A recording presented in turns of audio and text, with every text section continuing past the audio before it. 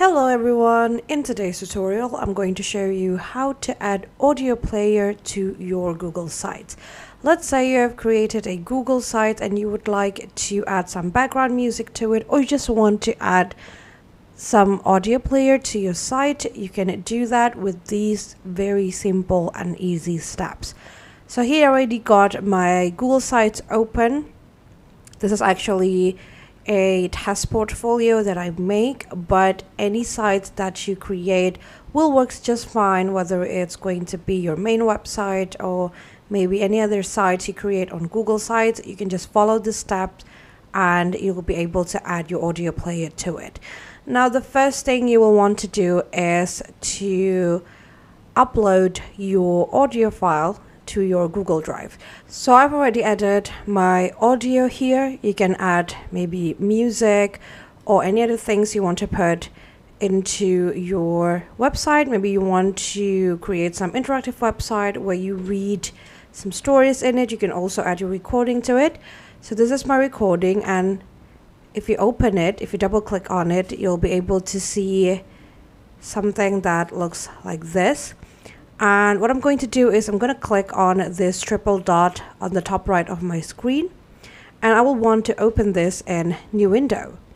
Basically it's going to show you a very similar look but the difference is now you have this embed item options if you click on this triple dot right here.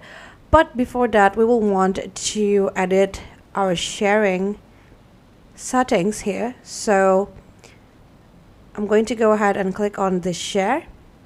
And it's going to depend on who you want to listen to this audio to. For example, if you're going to upload this to a specific website, you can just add it so that the access is restricted so people will have to ask for your permission if you want but I'm just going to change it to anyone with the link for now so I'm going to go ahead and change to that make sure it's on viewer and then click on done. Now you're going to want to click on this triple dots right here and click on embed item. And you're going to want to copy on this link and go back to your Google Sites. Now you want to click on this embed elements right here. You can find it in the insert page or in the insert editor and then you can go ahead and click on embed go to embed code and paste your link over here.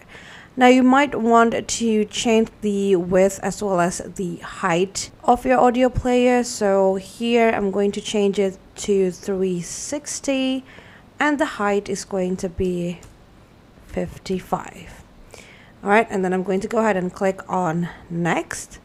And they're going to show me how the player is going to look like. So it's going to look something like this. Then you can go ahead and click on insert. And now you got your audio player inserted into your Google site. You can then adjust the size of your audio player if you want to look something like this. And that's basically it. That is how you can create an audio player in your Google Sites. I hope this tutorial is helpful for you. Thank you so much for watching and have a great day.